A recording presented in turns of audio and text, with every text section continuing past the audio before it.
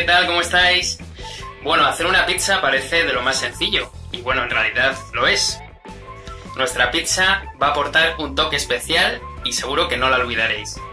Para esta pizza necesitaréis una masa de pizza, esta es comprada en el supermercado, está muy muy rica y como veis tamaño XXL. Una salsa de tomate es algo especial porque tiene aceite de oliva, un poquito de sal y sobre todo un poco de comino molido. Si no tenéis, da igual, no hace falta, pero le da un toque súper rico.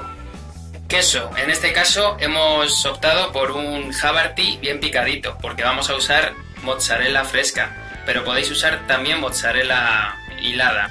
Estos son unos dátiles, le van a dar un toque dulce que va a contrarrestar un poco el resto de sabores salados. Un poquito de cebolla, la mozzarella fresca que os decía, champiñón, jamón cocido y para el final un poquito de orégano. Para que la base de la pizza quede un poquito crujiente, vamos a poner el horno solo por debajo durante 10 minutos a 210 grados. Como veis, hemos puesto el tomate encima de la pizza y simplemente nos queda poner el horno durante 10 minutos. Sacamos la masa del horno. Ahora es momento de poner el queso encima de la masa.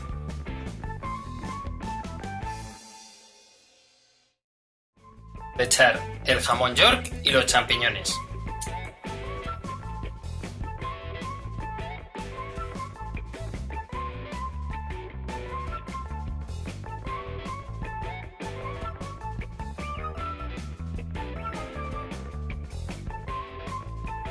Ahora vamos con la cebolla, los dátiles y la mozzarella.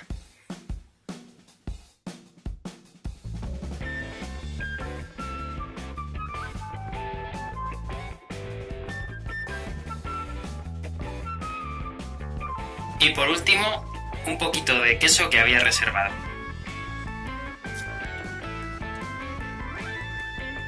Y ya para terminar, lo prometo, un poquito de orégano le va a dar un sabor y un olor increíble. Y una ramita de tomillo, que es el toque personal, para darle aroma. Y es momento de meterla en el horno a 210 grados durante 20 minutos aproximadamente o cuando la veáis dorada, con calor por arriba y por abajo. Y voilà, aquí tenemos nuestra pizza. Mirad qué pinta tiene, es espectacular. Y os dejo con un chiste. Estos son dos porciones que están en un entierro y le dice una a la otra. ¿Era familiar? No, era mediana. Suscribiros al canal y darle al like, por favor. Beso a todos.